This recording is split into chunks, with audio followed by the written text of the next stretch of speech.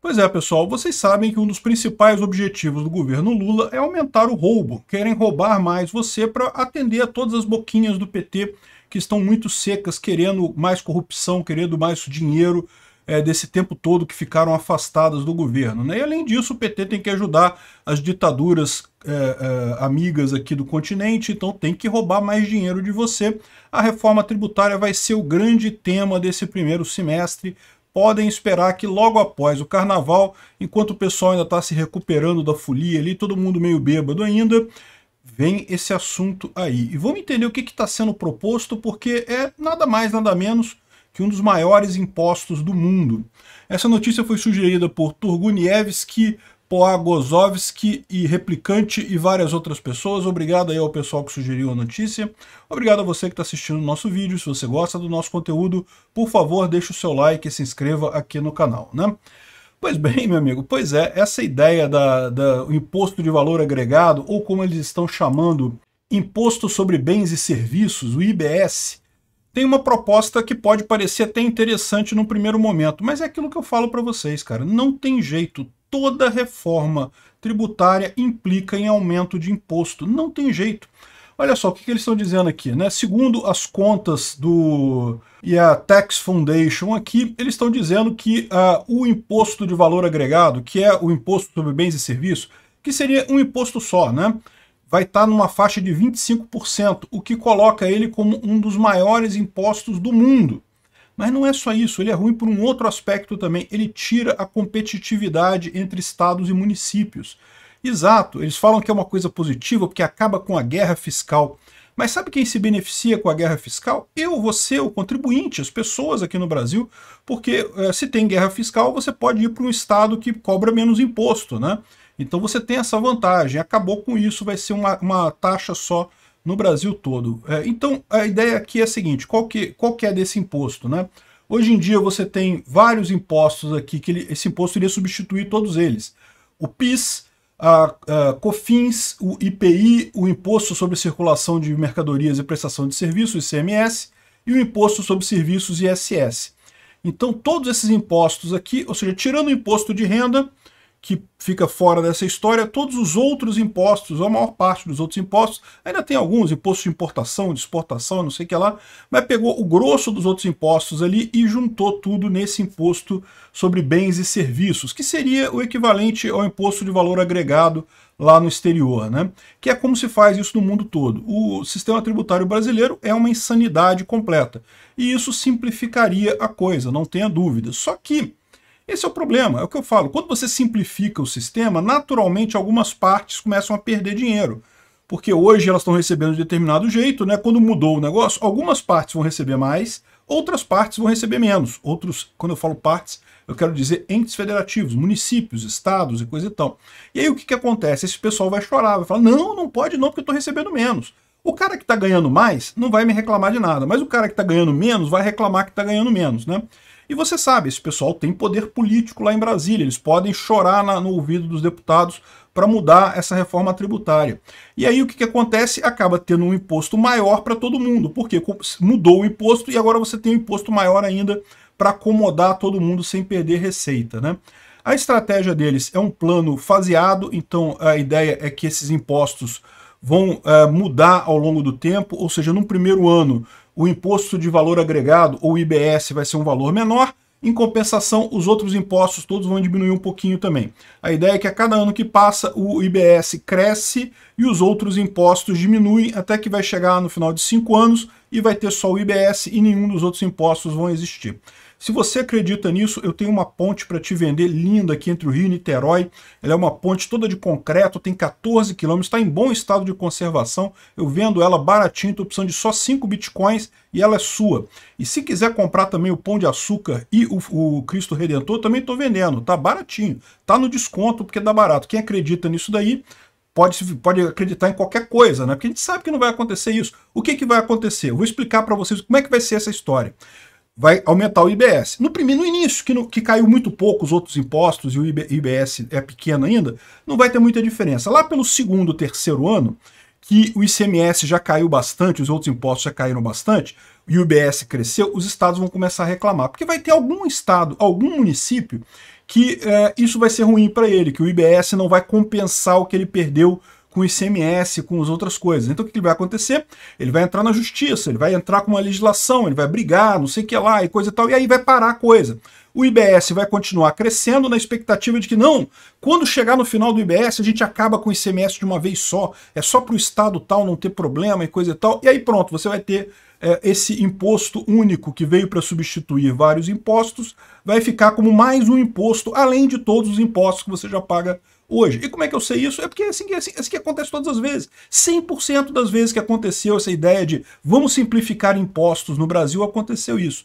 Então é isso que vai acontecer, né? Eu já estou dando contando o que vai acontecer aqui no futuro. Mas vamos supor que isso chegue ao final, que de fato eles consigam. Não, conseguiram, tiraram todos os impostos, agora só temos o IBS, só temos o Imposto sobre Valor Agregado. Segundo a conta que o pessoal fez, já vai ser um dos maiores valores agregados do mundo.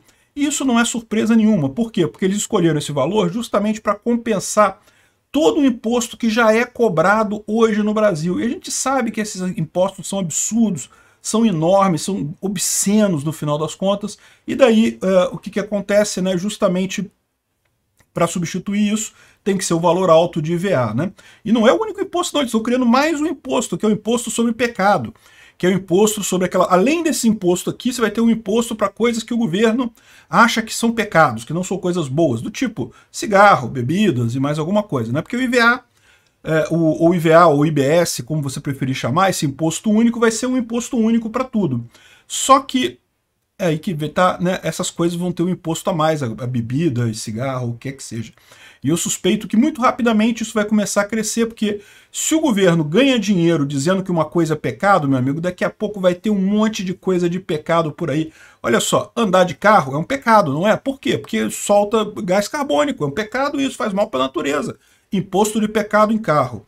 É, açúcar, você sabe que açúcar faz mal, né? Açúcar deixa você gordinho, xoxidinho, assim, dá ataque cardíaco, dá problema, então não pode. Açúcar é pecado, imposto sobre açúcar. A farinha, cara, putz, a farinha, cara, é um pecado você comer farinha, cara, é absurdo isso.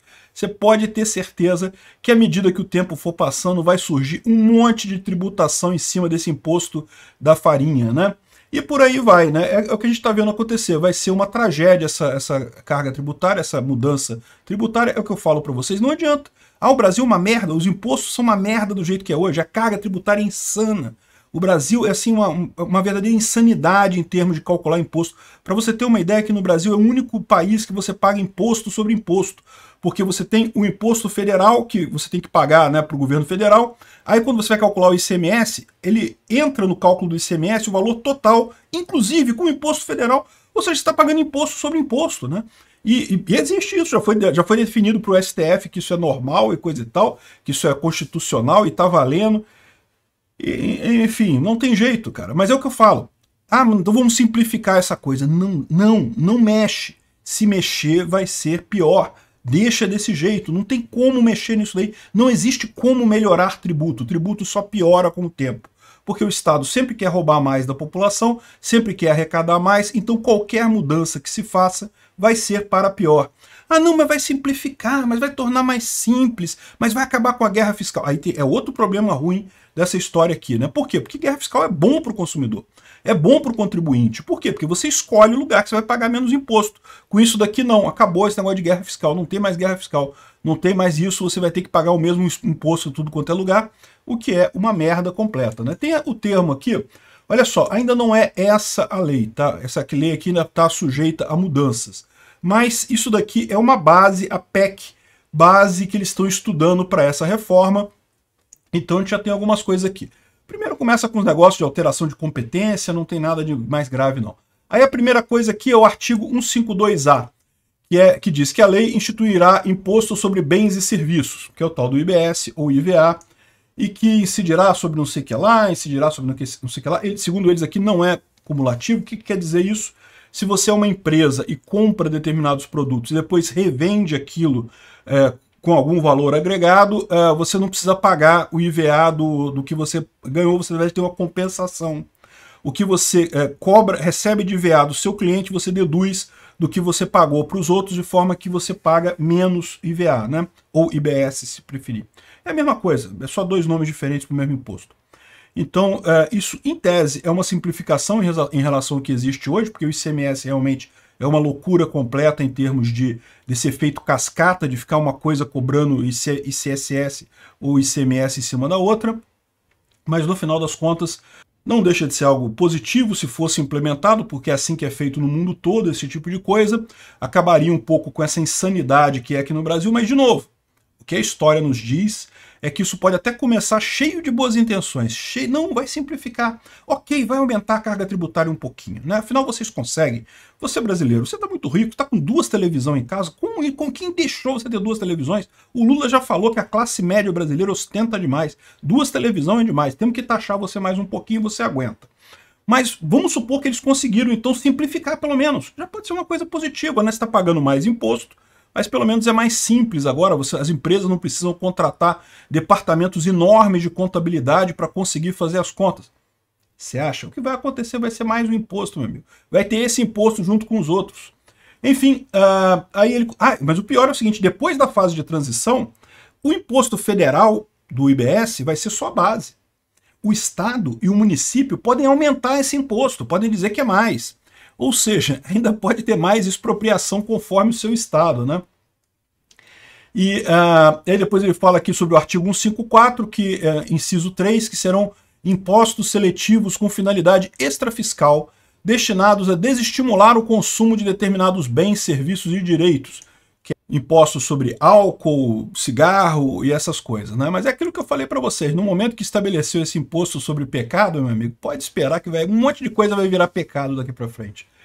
E também fala sobre como é que vai ser feita a transição do imposto e coisa e tal, é, é, uma série de, de alterações aqui, que é basicamente aquilo que eu falei, a intenção legal de diminuindo né, os outros impostos, enquanto esse imposto vai crescendo, até que ele é, tome o lugar de todos os outros. Né? Enfim, ainda está longe disso aqui ser aprovado, mas eu só digo isso para você. Como toda reforma tributária é ruim, deixa quieto. Imposto no Brasil é inferno, é caro pra caramba, é super complexo, sim, é a melhor situação que a gente pode chegar a partir daqui. Não tem como melhorar, esquece. Historicamente no Brasil, qualquer reforma de imposto vai resultar em mais imposto, imposto mais complicado ainda. Tomara que isso aqui naufrague, tomara que o Congresso brigue com o Lula e não aprove coisa nenhuma disso daqui, porque vai forçar o governo também a outra alternativa que ele tem, que é cortar gastos. Né? O governo Lula quer fazer a reforma tributária por quê? Porque ele acha que assim vai aumentar a arrecadação e aí ele vai poder gastar o dinheirinho que ele quer para botar lá os, os petistinhas, que é tudo com fome. Os petistinhas querendo mamar na boquinha, lá nas, nas tetinhas do governo, tudo. E os estados socialistas ditatoriais aqui, amigos do Brasil, também tem que dar dinheiro para esse povo. Então ele quer aumentar a, a, arrecadação para fazer isso. Se ele não conseguir e tiver que manter a responsabilidade fiscal, ele vai ter que cortar no próprio, na própria carne, vai ter que diminuir o tamanho do Estado. Você acha que Lula vai fazer isso? Obrigado por assistir o vídeo até o final. Além de curtir, compartilhar e se inscrever no canal, considere se tornar patrocinador com valores a partir de R$ 1,99 clique no botão Seja Membro abaixo para saber as condições e vantagens de patrocinar o canal. Mais informações sobre o nosso projeto, visite nossos sites indicados na tela.